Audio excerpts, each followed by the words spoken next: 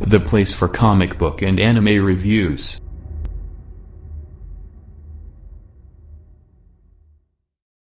Hey there, you guys. Welcome to the Brevin Campbell 12 YouTube channel. Place for your comic book and anime reviews.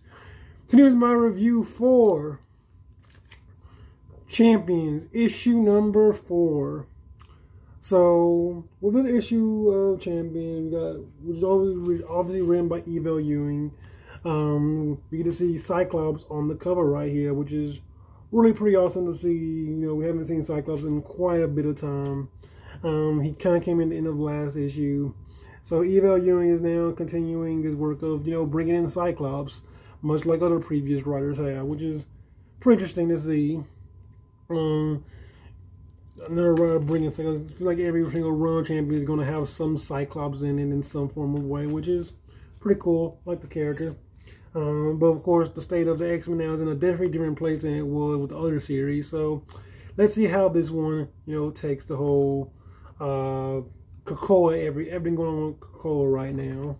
So the issue pretty much begins off, and we get to see you know the champions kind of the X Men kind of bamping in to help the champions save them from you know um, the government threat that they've been dealing with, and. Uh, kind of pretty much came in the last issue and said, "Hey, these guys are under Krakoan protection. I'm going to take you guys in, so make everyone believe that hey, uh, Krakoa is going to be protecting the champions now, which was not expected. Uh, but makes sense since Cyclops was their friend.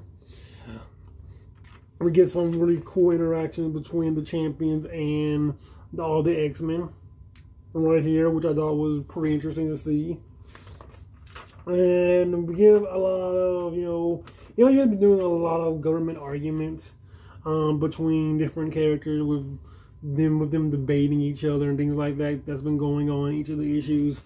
Um in previous issues i didn't i mean i liked it a lot. Um i didn't love it but it was something that you kind of added in. Uh, it makes sense for this storyline this civil war as storyline with you know champions protecting each other and they're talking about like you know who, who, who people are agreeing with come on who aren't what are the age groups and things like that they agree or disagree and we get to see the champions. This is where I really start a little bit. We get to see champions meet the Marauders, which I thought was really cool to see. Um, as you guys know, that's probably my favorite of the X Men books right now. Is the Marauders books. Uh, I really love Kitty Pryde a lot, even though she's now going by Kate Pryde. And I just dug how this storyline really dealt with that, and it was a really fun thing to do. And we get to see this one moment between Sam and Kamala that was really emotional. Um, very much bringing back the time when you know Sam helped uh, Kamala helped Sam before, and now Sam's helping Kamal as she's fallen into the deep depression of, of being on social media, seeing this negative attention that they're getting after champions, and seeing how you all disagree with them, and just falling into that pitfall of you know, like which everyone goes when everyone says don't read the comment section.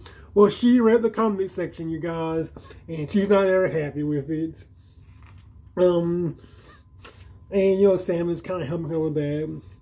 We get to see some really cool fights between the Marauders and the Champions going on that I thought was really cool. And come it ends with Kamala making a big decision for herself that she is going to go and face the Kree organization on her own. Um, despite everything, she's she's ready to do. She's going in um, to face the enemy that she doesn't really know how to deal with.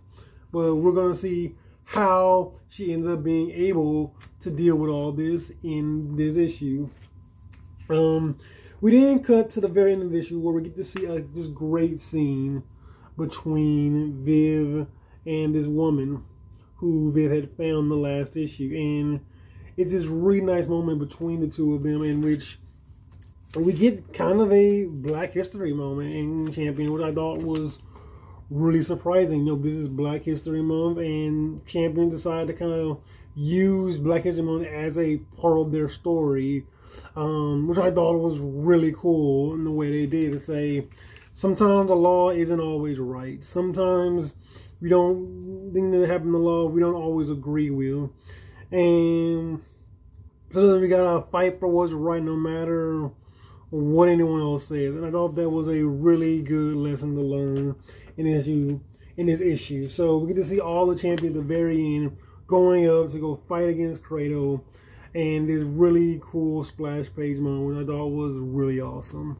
And that's where the issue, you know, ends itself off. So that was Champions issue number four, you guys. Um, really good issue of Champions. Um, really great characterization going on within this issue. And one that I really, really, really enjoyed a whole lot. So there are my notes on championship number four, you guys. Let me comments about championship number four, and I will catch you guys later. Peace out.